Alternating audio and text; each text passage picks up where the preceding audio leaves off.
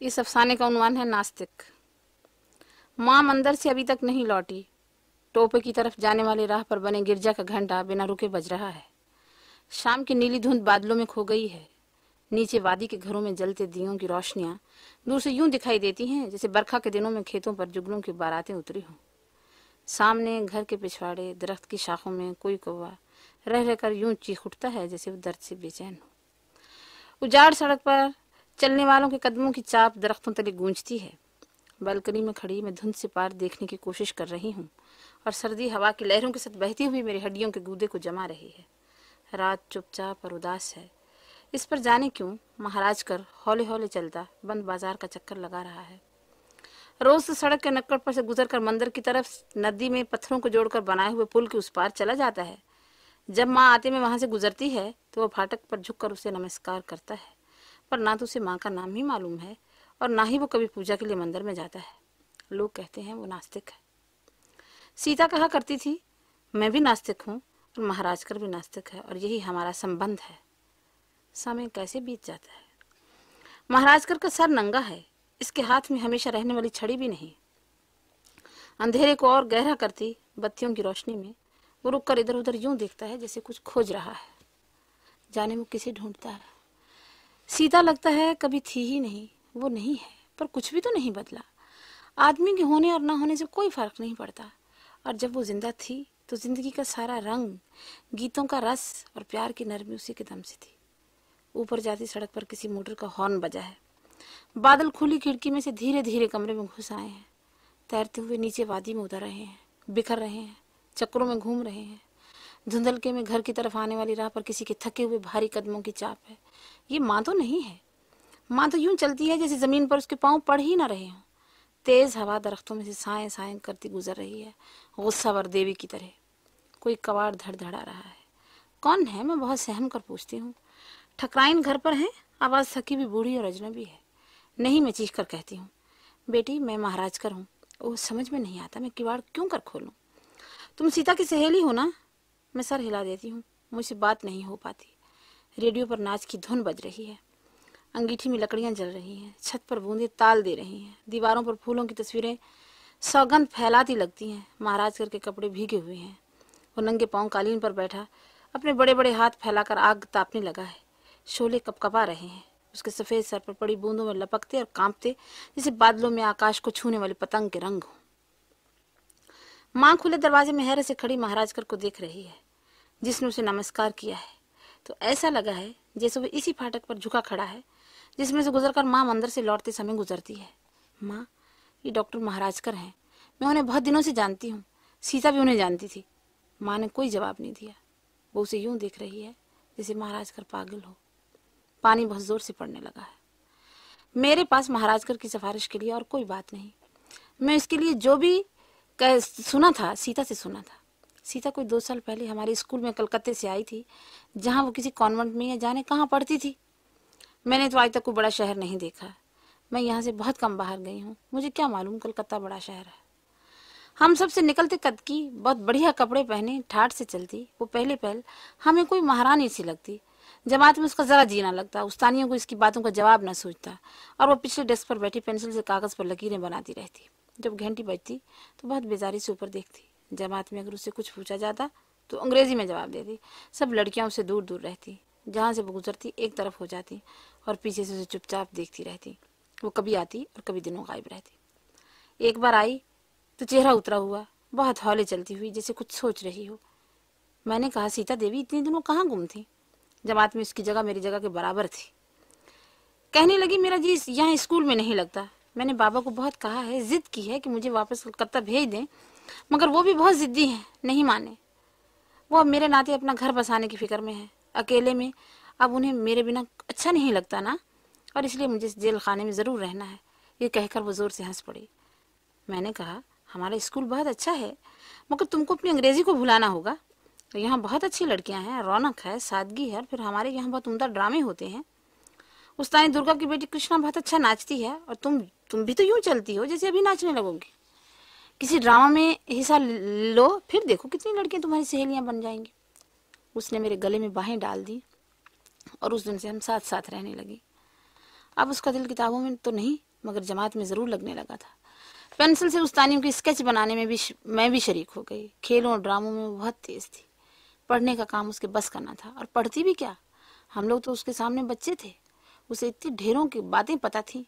उसने घूमकर इतनी दुनिया देखी थी। मेरा ख्याल है कोई ऐसी बात नहीं जो उसे मालूम ना होगी। उस तानिया उससे घबराती थी। वो यूँ ही बहस करने लगती थी। उस तानी दुर्गा ने पढ़ाते में एक बार कहा था, भगवान, जो चाहे सो करता है। उसी उसके लिए सभी कुछ होता है। आदमी के अपने हाथ में तो कुछ भी नहीं। सीता ने पिछली कतार में बैठे बैठे ज़ोर का कहका लगाया और कहने लगी मुस्तानी जी, भगवान कहीं दिखाई नहीं देता तो फिर उसके किए कैसे सब कुछ होने लगा? आदमी ने अपनी तसल्ली के लिए सारी बातें घड़ ली हैं, वरना भगवान कहीं है ही नहीं। उस्तानी ने कहा, सीता, अगर भगवान ना होता और वो ना चाहता तो तुम इस वक्त अपने अंग्रेज़ी स्कूल में बैठी होती। मैंने सोचा था सीता को चुप कराने के लिए ये बात काफ़ी होगी। मगर उसने उसी लापरवाही से जवाब दिया, मैंने आप सब कुछ चाहा था, या मेरे बाबा ने चाहा था। भला भगवान तीसरा कौन है जिसको हमारी मर्ज़ी के बिना हमारे कामों में दखल देने का अधिकार हो गया? उसानी बड़ी ज्ञानी धर्मात्मा विधवा औरत थी।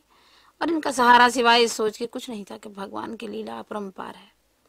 सीता की बात सुनकर उन्होंने कानों को हाथ लगाया और कहा कि अगर इसे ऐसी बातें करनी है तो ये जमात में ना किया करे। उस दिन से उसे खुली छुट्टी हो गई। स्कूल के पिछवाड़े खुबानियों, आलूचों और सेब के दरख्तों का बाग था और तालाब में पानी किसी चश्मे से आता था। माली ने बहुत मेहनत करके फूलों से इसे चारों तरफ़ से यूँ ढांप दिया था कि दो आदमियों को बैठने की एक जगह सी बाकी रह गई थी। हम दोनों वहाँ चली जाती वो अंग्रेज़ी की कहानियाँ पढ़ती और मैं पेंसिल के अधूरे स्केच पूरे करती। बीच बीच में हम बातें भी करते जाते। जब उस्तानी दुर्गा ने मुझे बुलाकर डांटा है और सीता के साथ ज़्यादा घुलने मिलने से मना किया है तो तब मुझे पता चला कि वो तो सारे टोपे में बदनाम थी। स्कूल से उसे इसलिए नहीं निकाला जा सकता था कि उसका बाप अपर टोपे का रईस आदमी था और हर साल स्कूल को बहुत बड़ी रकम दिया करता था और आसपास के इलाके में बड़ा रहमदिल मशहूर था। फिर और लड़कियों से सुना कि लोग सीता के लिए बहुत बुरी बुरी बातें कहते हैं। उसकी चाल, उसकी सुंदरता, उसकी मोहिनी, सभी तो इतराज किए जाने के काबिल बातें थी। टोपे में ही क्या? और कहीं भी कौन इसका पासंग था? मेरी और इसकी संगत की खबर माँ तक भी पहुँची।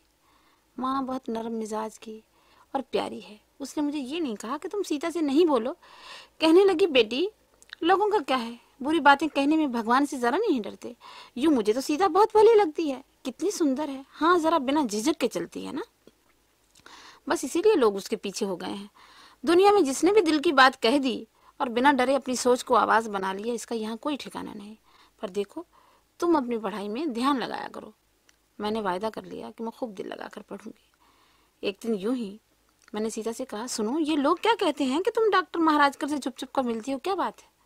सीता ने मेरी तरफ़ बहुत गौर से देखा, फिर हंसने लगी और इतने ज़ोर ज़ोर से कि दरख्तों में बैठी चिड़ियाँ उड़ गई और उसकी आँखों में आँसू आ गए। फिर उसने मेरे हाथ से अधूरा स्केच ले लिया और चुपचाप पेंसिल चलाने लगी।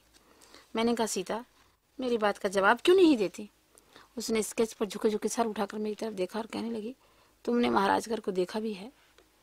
मैंने कहा, बचपन मैंने इन वादियों में खेल कर गुजारा है। मैं यहाँ के एक एक आदमी को जानती हूँ। डॉक्टर को यहाँ आए बहुत दिन तो नहीं हुए, पर हाँ जरा बूढ़ा है।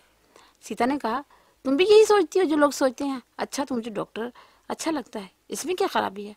और फिर हम दोनों नासक भी तो हैं। ना वो मंदिर में झांकता है और ना मैं। कमरे में बहुत खामोशी थी, आग मध्यम हो चली थी और डॉक्टर सर झुकाए बैठा था।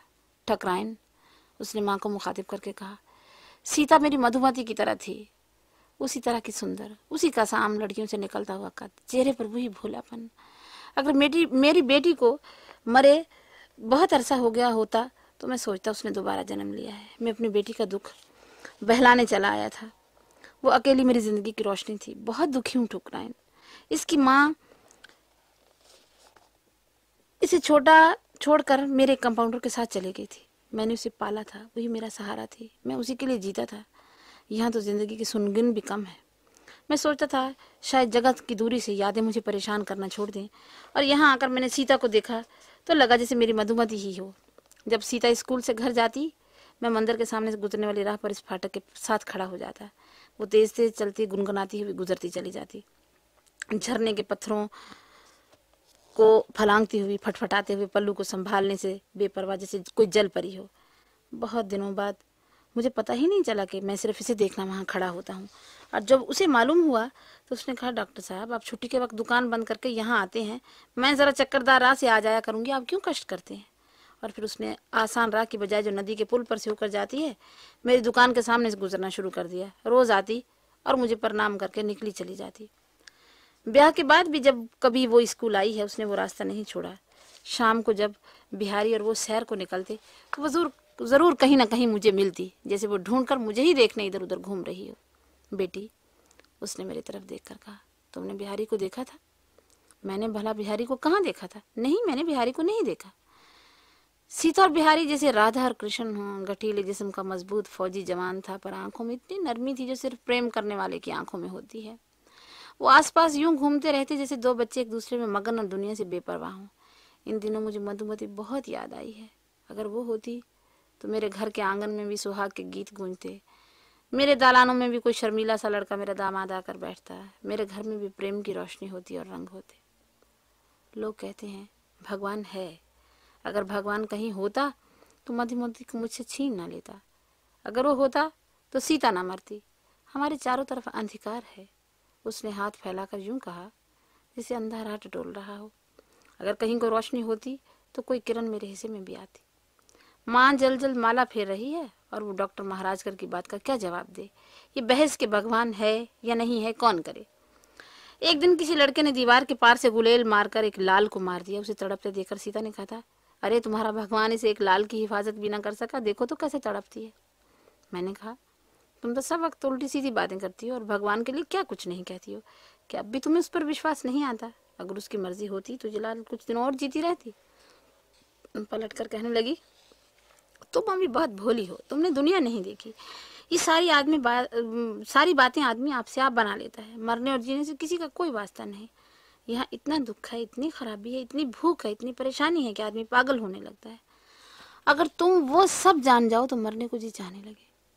मैं तो नहीं जानती, पर तुम तो जानती हो और तुम अभी तक जी रही हो।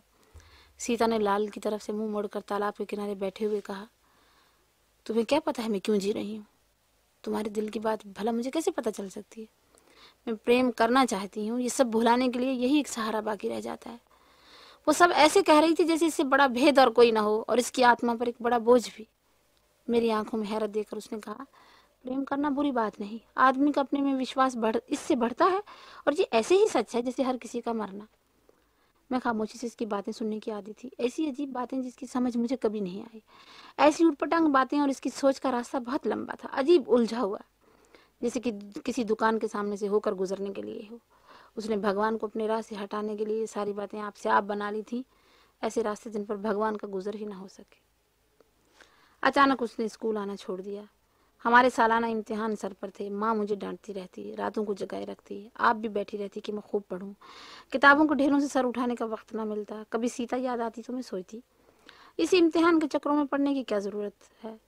इसीलिए कभी दिखाई ही नहीं दी। चिट्ठी लिखने इतला देने की तो उसको आदत ही ना थी। जब बादले की झमझमाती ओढ़ने को साड़ी के ऊपर संभाल दी, बिंदिया और सिंदूर का रंग चेहरे पर भरे वो आई है तो मुझे यकीन ही नहीं आता था। हमारा वंदना हो गया है। मैं चुपचाप उसे देखती रही। गहरी और बड़ी बड़ी आँखें, जैसे अंधेरे पानी में कमल खिले हों। चांदनी के रंग की कमर, चोली की सुर्खी के नीचे नाजुक सी और चेहरे पर नरमी के साथ एक कामती हुई चमक मानो पलकों के नीचे दिए जल रहे हों, जैसे कली ने अभी अभी अपनी पत्तियाँ खोली हों। सपने में देखी सूरत की तरह मैंने उसे सच ही नहीं जाना। मेरा कंधा पकड़कर कहने लगी, अब तो तुम्हारा इम्तिहान हो गया है, अब तो तुम्हें कोई नहीं रोकेगा ना। आओ बातें करें। वो तालाब में पाँव लटका कर बैठ गई। इसके पैरों से लाल रंग छूटने लगा और उनकी सफ़ेदी से जैसे पानी में रोशनी सी होने लगी। मेरा तो नाच नाच कर बुरा हाल हो गया है। तलवे उधड़ गए हैं। इसने नाक में पड़ी बड़ी सी कील को घुमाते हुए कहा, तुमने हमें तो बुलाया ही नहीं। हम तुमसे बोले ही क्यों? देखो पद्मनी, मुझे मालूम था तुम बुरा मान जाओगी, पर तुम्हारा तो इम्तहान था और फिर हमारे घर में तो महीना भर शोर होता रहा है। बिहारी की पसंद का बाबा को बहुत ख्याल था। मैंने रात दिन नाच नाच कर मुश्किल से मुश्किल तोड़े सीखे हैं। और अब सुना है उसे वापस बुलाया जा रहा है, लड़ाई होने वाली है। बिहारी लौट जाएगा और मैं यूँ ही थकी। मैंने कहा, शिकायत करने लगी हो बिहारी की? कहने लगी, अरे नहीं, मैं बिहारी की शिकायत क्यों करने लगी? उसके लिए तो मैं अपनी जान दे सकती हूँ। जानती हूँ, मुझे इससे प्रेम हो गया। मैंने कहा तुम चाहती थी किसी ना किसी से प्रेम तो तुम्हें करना ही था, बिहारी से हो गया, ठीक है।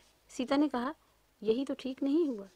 मैंने कहा, अजीब लड़की हो भाई सीता, मेरी समझ में कुछ नहीं आता। पहले कहती थी, प्रेम से आदमी का अपने में विश्वास बढ़ता है, और अब कहती हूँ, ये ठीक नहीं हुआ। आखिर कुछ बताओगी कि क्या चाहती हो? वो तालाब के किनारे झुक कर यूँ ही फूलों पर हाथ फेरने लगी, और फिर यूँ हौले से, जैसे उसे डर हो, कोई सुन लेगा, कहने लगी, मुझे यूँ लगता है जैसे सांस रुक जाएगा, जैसे जीवन की यही घड़ियाँ पूरी मुकम्मल हो। किसी शय की कमी ही न रही हो। जैसे कुछ और चाहिए ही नहीं। और तुम जानती हो, तुम्हारा भगवान जिसको मैं नहीं मानती, सदा हर जगह अपनी टांग अड़ा देता है।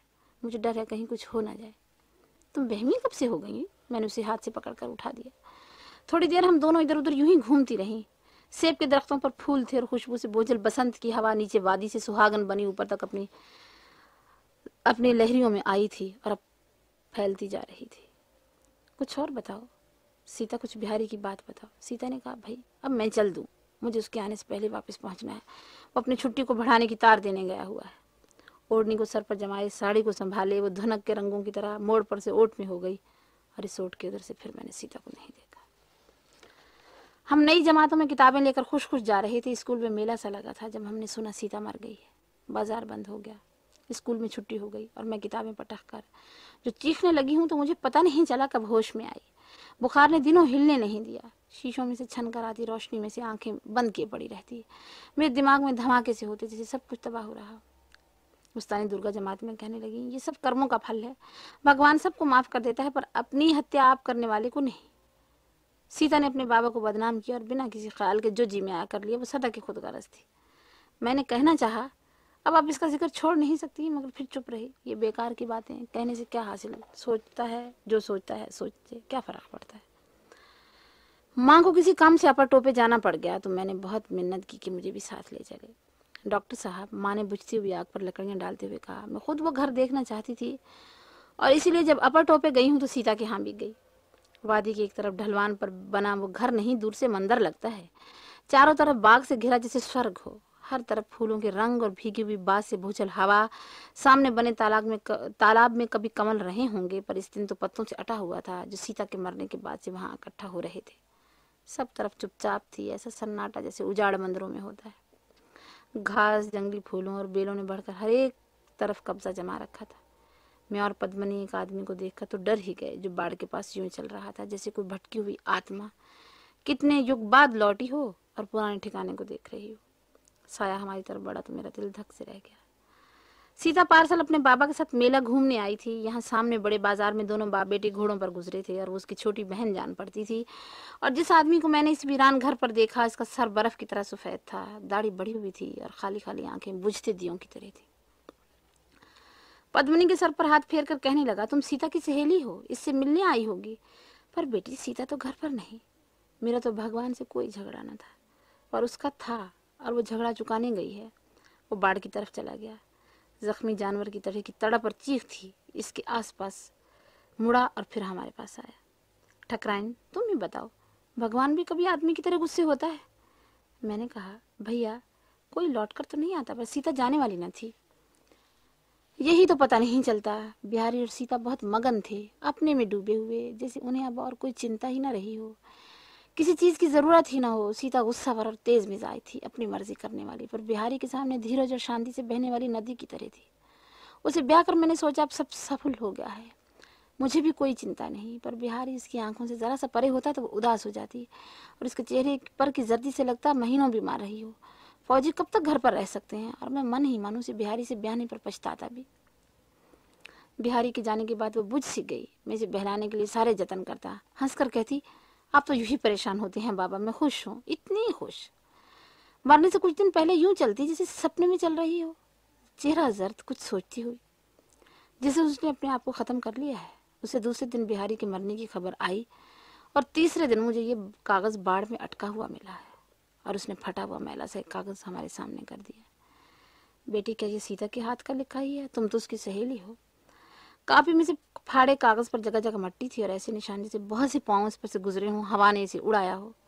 लिखा था, मैं कई रातों से एक सपना देख रही हूँ। मैंने बिहारी को अपनी इन आँखों से गोली खाकर गिरते, जख्मी होकर तड़पते और चीख चीख कर चुप होते देखा है। और आखिरी दम तक उसने मुझे पुकारा है। भला मैं उसकी पुकार को कैसे अनसुना कर दूँ? इसके बाद इस दुनिया में कोई शय है जिसके लिए मैं जिए जाऊँ? क्यों बेटी? ये सीता के हाथ का लिखा ही है ना? इसकी आवाज़ में इतनी मिन्नत थी। डॉक्टर साहब, मैंने सर हिलाकर हाँ कह दिया। मैं और क्या कहती? हो सकता है वो लिखा हुआ उसके हाथ का ना हो। लोगों ने उसके मरने के बाद कितनी ही कहानियाँ आप बना डाली हैं। आदमी अपनी तसल्ली के लिए कहानियाँ बनाता है। अपने सवालों के जवाब ढूंढता, पाताल तक में उतर जाता है। भगवान होता तो सीता भी होती। मुझे डर है, मेरी सोच की आवाज़ अगर माँ ने सुन ली तो कहेगी, सीता मुझे भली ज़रूर लगती थी, पर तुम तो अपने भगवान पर विश्वास रखो। और मैं किस शय पर विश्वास करूँ?